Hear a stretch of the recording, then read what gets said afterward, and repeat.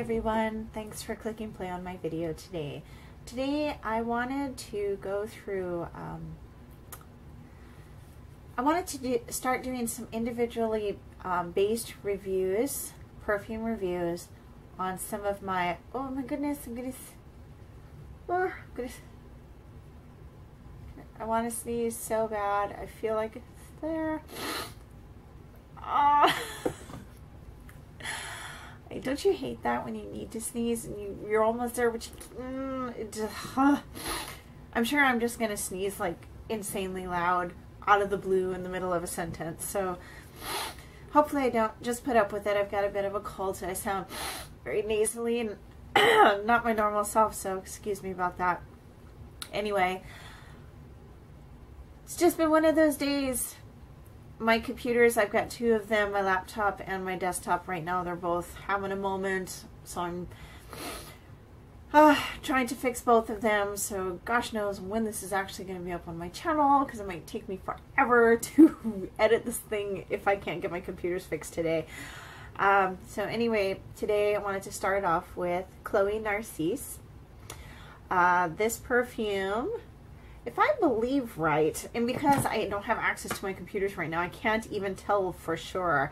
I want to say, I don't believe, I don't believe this was, um, it says the nose behind this is by IFF, but I, uh, during the, um, when was it?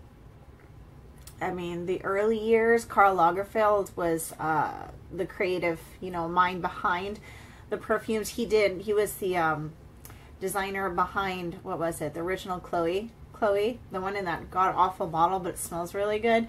Um, so I believe he was the nose behind this. I'm not too sure, like I said, because I can't really check and I'm having an internet issue at the moment.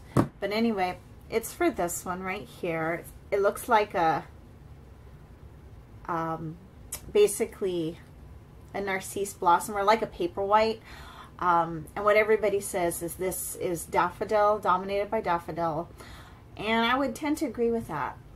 Um, even though I think the smell comes from like a white paper white or a white daffodil, the juice or this, the feeling I get smelling this in this is distinctly yellow to me. It, to me, this smells all over yellow flowers, even though most of the flower notes in here are white flowers, so it's actually a white white flower based um, perfume. But to me, excuse me, the feeling that I get from this is very yellow. The scent smells like juicy, tropical, delicious, luscious yellow flowers. But anyway, so we're doing this one right here. This is the EDP version. As you can see, you don't need to use a lot. I mean, that's, I've had this perfume for a long, long time, and this is all I've used. Because initially when I first got this, I was like, oh my goodness, what did I buy? This smells terrible. I like sprayed it for about five minutes and then tried to scrub it off and put on something else. But recently, I went through my entire collection. I cleaned out a lot of perfumes, so that's an entirely different series of videos. and I decided to give this another try and I'm really glad I did because in this last month it has been one that I've really really desired to wear. And I don't say that about a lot of perfumes um, even some of the newer ones that I've gotten. So I'm very very happy with this. Anyway let me put this down and I actually wrote notes. Yay Uh, what I'm doing in my collection is I'm actually making information cards for each one of my perfumes by collection individual perfumes uh, because I really need to get a handle on my collection. I really want to scale things down and only get specific scents at this point in my life and maturity level. So I want to scale down on the amount of my collection and really focus on um, really, really interesting, unique perfumes or classics to add to my collection because I sometimes, even if I'm not that fond of a scent, if it's symbolic of a time period or there's just nothing else like it, then I definitely would look into getting that for part of my collection. Anyway, so what I uh, wrote down before my computers completely went on the fritz is Chloe Narcisse. Um, the fragrance was released in 1992. The creative nose behind this was IFF. It's listed as a floral, feminine, sweet with a bitter note. They make that very clear on Fragrantica.com, which is where I got this particular review or information from. It says there is a bitter note! Exclamation point. Uh, top notes are peach, pineapple, orange blossom, violet. Heart notes are gardenia, carnation, jasmine, and rose, and the base notes are cedar, sandalwood, vanilla, and musk. Now, for me, um, I smell the peach, but it's like a soft, fuzzy peach, so it's not loud. Um, however, the pineapple and uh, to me smells a little bit screechy, just a little bit. And then the orange blossom, which is one of my favorite scents, I just adore. I can definitely tell that. Also the violet. I can definitely smell the violet, excuse me. Um, the heart notes, the gardenia, carnation. The gardenia is prominent, but it's not like a witchy gardenia. You know, it's very soft. It's creamy. Um, I love carnation uh, and lily notes, so obviously I love this in particular because of that uh, lily or the paper whites and the daffodil. Those are all a variation of lily. Jasmine and rose. I'm not a fan of jasmine scent. I'm not a fan because oftentimes in perfumes, it's just so overwhelming. It's so strong and, and sometimes it can just go very sour on me. So thankfully that note for me is not overwhelming. And I love rose scented things. So that's always a plus in any fragrance. Uh, base notes, I definitely can scent the cedar. It gives it a, a greener, more, it's just a green edge undercurrent to the scent all the way through. Sandalwood, and I can't smell vanilla too much, which I'm grateful for. A lot of people like vanilla. It's definitely not one of my favorite notes in perfume. I think it it adds a good anchor, but as far as being like a prominent note in perfume, not fond of that. And of course, I love musk, so that's that's excellent. Now, um, when I was testing this out, I'm going to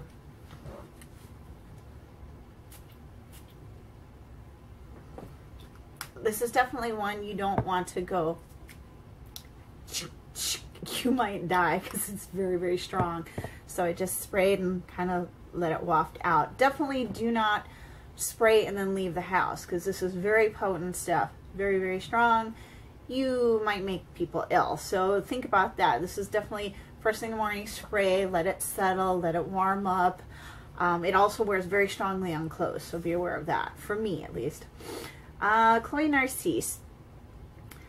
Uh, Carnation, slightly screechy green but very sweet. Top note is all sweetness, a juicy feeling, a balmy, warm, spicy, tropical note. The gardenia to me I'd listed reminds me very much of plumeria or frangipani. Orange blossom, I think. Definitely this is a yellow creamy floral. It is very warm. When I say creamy, I mean like a warm tropical floral. Mmm, yes. Very feminine floral, but it's not shy. Like I said, very, very powerful stuff. Very potent, very strong sillage or sillage, very strong. I've had people uh, comment that I smell good, but wow, what's that? And that was hours after spraying this stuff on, three squirts. Um, so strong sillage. I detect a soft violet-like powdery candy, sort of like violet mints. Um, throughout the dry down. Right now, though, when you first spray it, definitely you get that peachiness to it. So, mmm, yeah. And I wrote down that it was discernible, and particularly during the heart phase, so like midway through the dry down. To me, it's a spicy and very sweet yellow floral, daffodils, lilies, covered in honey, surrounded by orange groves blooming in the hot summer heat. yeah, that does fit.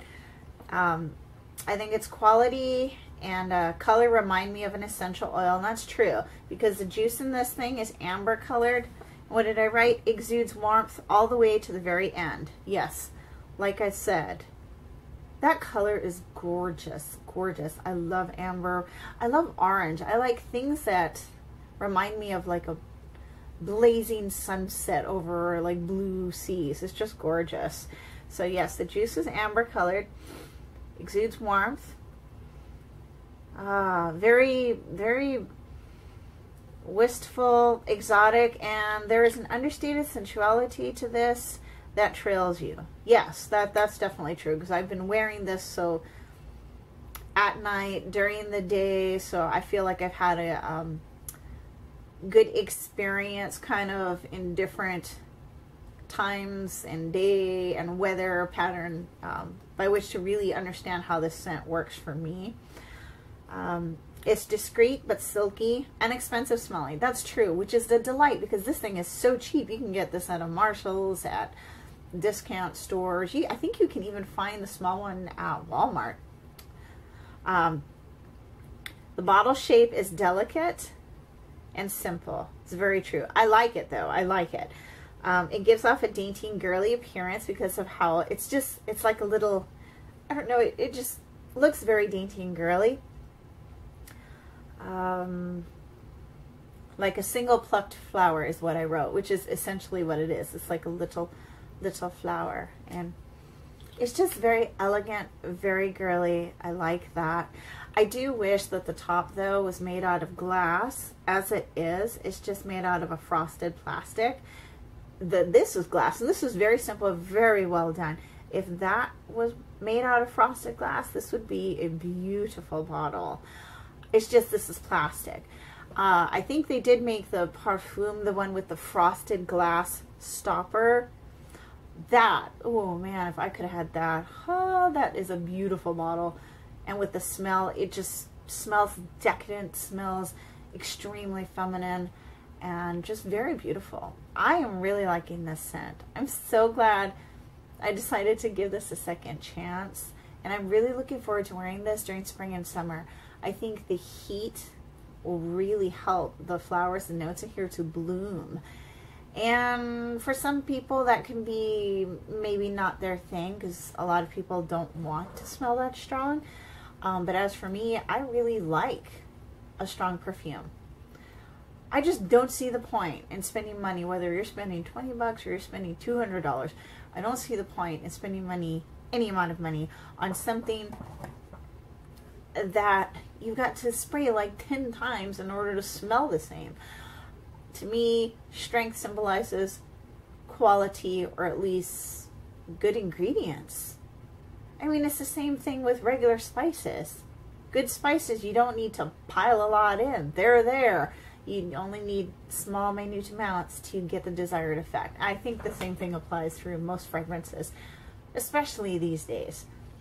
And, uh, you know, this was released in the early 90s. I graduated high school in 91, so for me, even though this was not something I ever had experience in with the 90s, it wasn't until recently that I bought this um, yeah, this this kind of triggers back some memories from oh so long ago.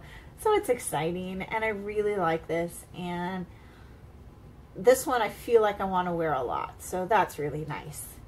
And I only have, like I said, my other um, Chloe perfume is Original Chloe by Chloe, like Karl Lagerfeld. So I look forward to doing that one next and posting that hopefully sometime um, later on this weekend. And I haven't found any other Chloe perfumes that I'm really dying to like purchase. There's just these two are the like the oldest ones. I, I believe it was Chloe, the original, and then Narcisse.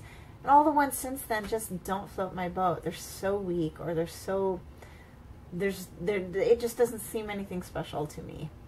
And you'll notice too, these two Chloe's in comparison with the ones that come out now, the juice is like water. It's like colorless practically. And I don't know, there's something about these orangey amber color juices. They just, to me, mmm, scream feminine power to me. And I really, really like that. It's definitely more my, um, my personality. So anyway, this is for Chloe Narcisse. This definitely for me, longevity, eight, sillage, like a nine, this stuff is strong, so use sparingly unless you really, really want to rock your perfume, perhaps on a night out. But this is very, very powerful stuff.